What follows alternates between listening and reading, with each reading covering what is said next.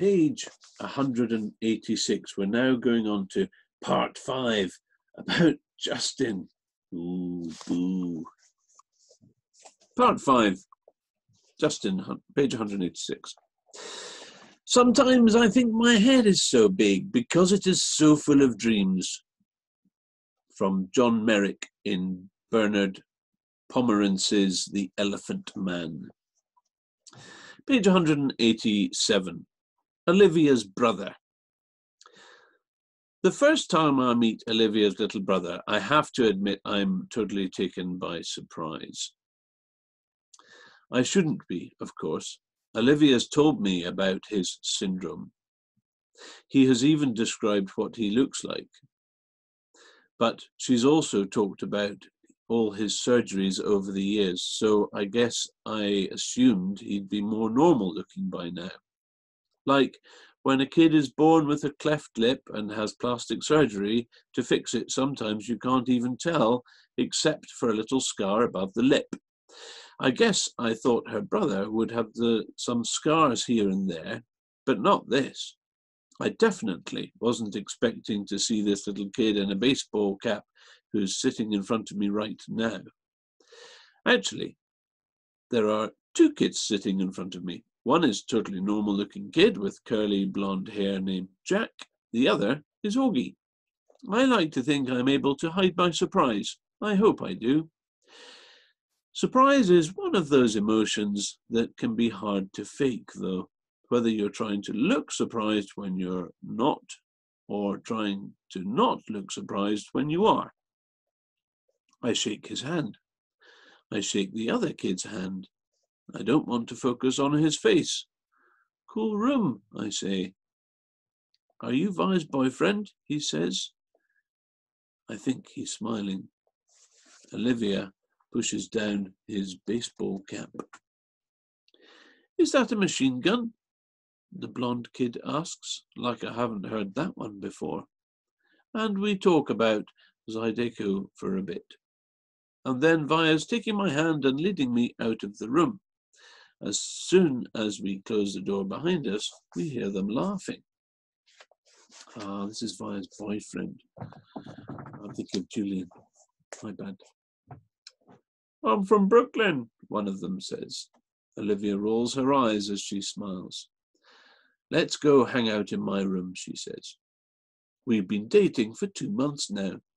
I knew from the moment I saw her, the minute she sat down at our table in the cafeteria, that I liked her. I couldn't keep my eyes off her. Really beautiful. The olive skin and the bluest eyes I've ever seen in my life. At first, she acted like she only wanted to be friends. I think she kind of gives off that vibe without even meaning to. Stay back. Don't even bother. She doesn't flirt like some other girls do. She looks you right in the eye when she talks to you, like she's daring you. So I just kept looking her right in the eye, too, like I was daring her right back. And then I asked her out, and she said yes, which rocked. She's an awesome girl, and I love hanging out with her. She didn't tell me about August until our third date. I think she used the phrase, a craniofacial abnormality to describe his face. Or maybe it was craniofacial anomaly. I know the one word she didn't use was deformed, though, because that would have registered with me.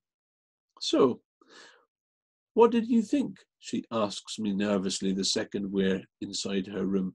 Are you shocked? No, I lie. She smiles and looks away. You're shocked. I'm not sure, I assure her. She's just like what, uh, he's just like what you said he'd be like. She nods and plops down on her bed. Kind of cute how she still has a lot of stuffed animals on her bed. She takes one of them, a polar bear, without thinking, and puts it in her lap. I sit down on the rolling chair by her desk. Her room is immaculate. When I was little, she says, there were lots of kids who never came back for a second play date. I mean, lots of kids. I even had friends who wouldn't come to my birthdays because he would be there. They never actually told me this, but I would get back, but it would get back to me. Some people just don't know how to deal with Augie. You know. I nod. It's not even like they know they're being mean, she adds. They're just scared. I mean, let's face it. The face is a little scary, right? I guess, I answer. But you're okay with it, she asks me sweetly. You're not too freaked out or scared? I'm not freaked out or scared, I smile. She nods and looks down at the polar bear on her lap. I can't tell whether she believes me or not, but then she gives the polar bear a kiss on the nose and tosses it to me with a little smile. I think that means she believes me, or at least that she wants to. Page 190, Valentine's Day. I give Olivia a heart necklace for Valentine's Day, and she gives me a messenger bag she's made out of old floppy disks. Very cool how she makes things like that.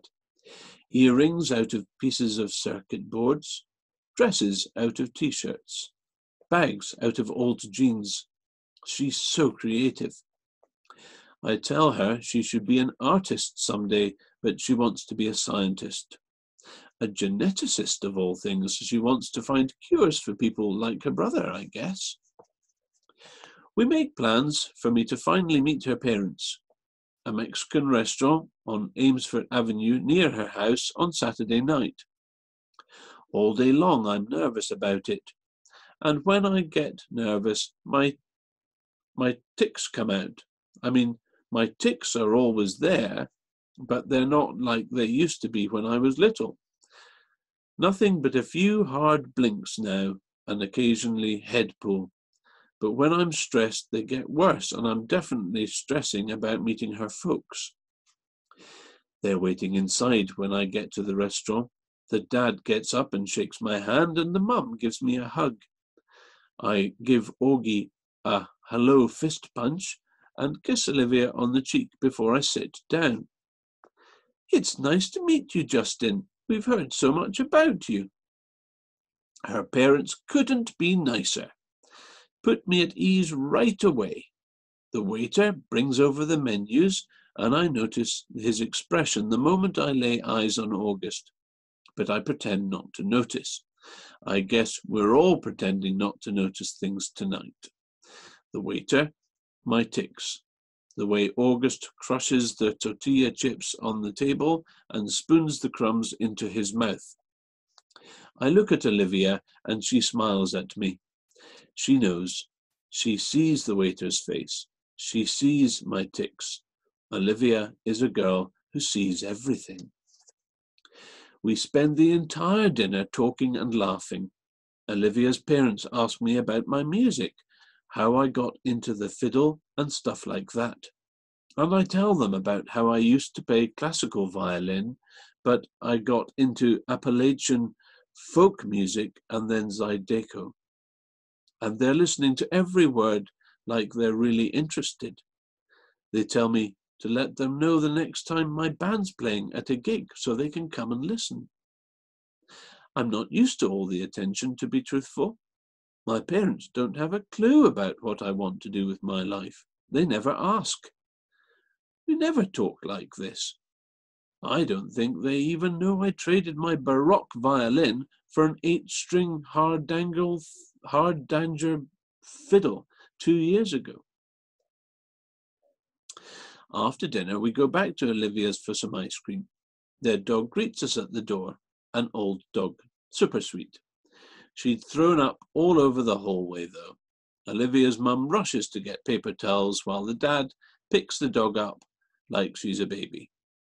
What's up, old girlie? He, she, he says, and the dog's in heaven, tongue hanging out, tail wagging, legs in the air at awkward angles. Dad, tell Justin how you got Daisy, said Olivia. Yeah, says Augie.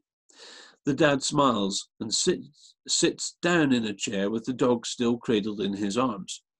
It's obvious he's told this story lots of times and they all love to hear it. So I'm coming home from the subway one day, he says, and a homeless guy I've never seen in this neighborhood before is pushing this floppy mutt in a stroller. And he comes up to me and says, Hey, mister, want to buy my dog?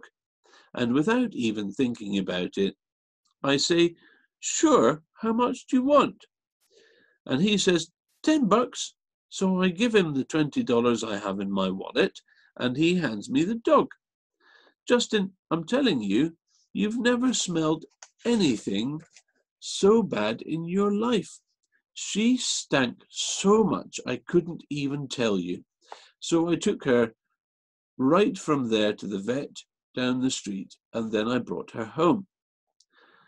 Didn't even call me first, by the way, the mum interjects as she cleans the floor to see if I'm okay with this, to see if I'm okay with his bringing home some homeless guy's dog.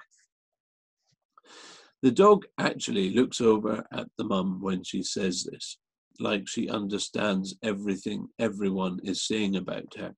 She's a happy dog, like she knows she's lucked out that day finding his family. I kind of know how she feels. I like Olivia's family. They laugh a lot. My family's not like this at all. My mum and dad got divorced when I was four. They pretty much hate each other.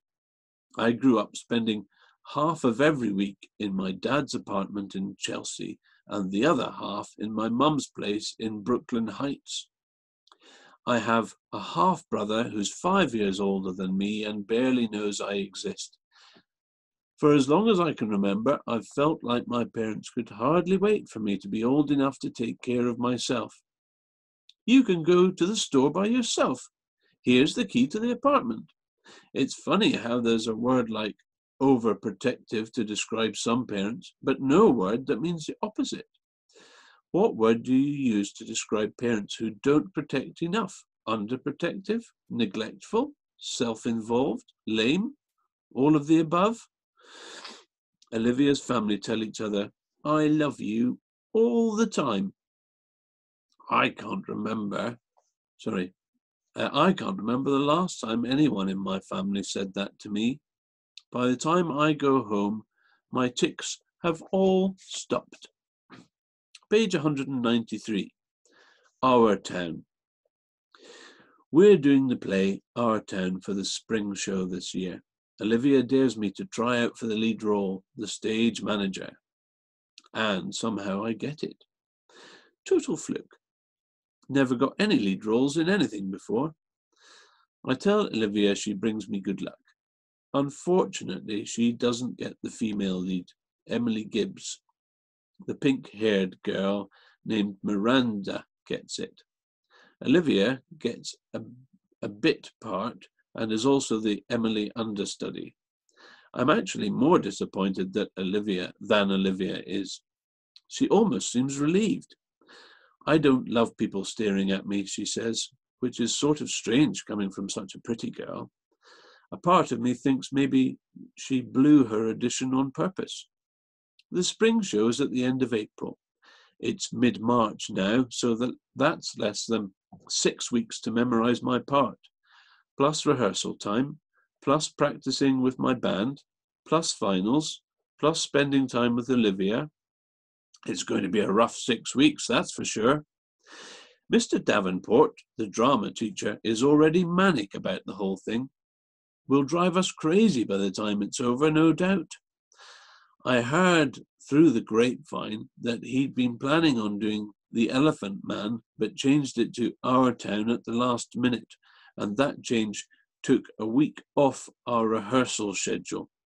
Not looking forward to the craziness of the next month and a half. Page 194 Ladybug.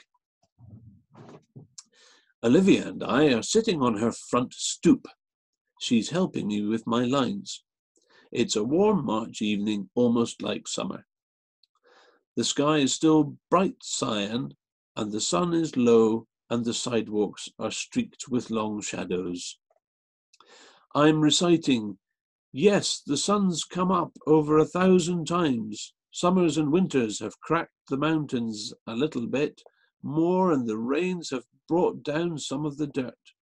Some babies that weren't even born before have begun taking talking regular sentences already, and a number of people who thought they were right young and spry have noticed that they can't bound up a flight of stairs like they used to without their heart fluttering a little.